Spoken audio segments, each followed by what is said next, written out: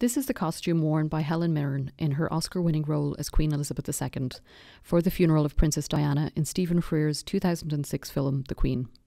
Irish costume designer Consolata Boyle received her first Academy Award nomination for her work on this film. It is unusual for a contemporary film to receive an Oscar nod. Boyle entered into the private world of a living monarch and gave us an insight behind the pages of Hello magazine, detailing the complexities of negotiating a nation and a nation's emotional state.